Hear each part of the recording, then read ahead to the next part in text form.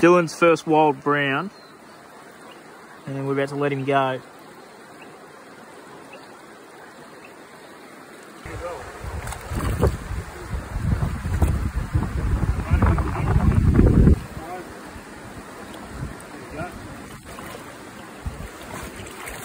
Not a bad one. Two fish, one for Dylan, one for me.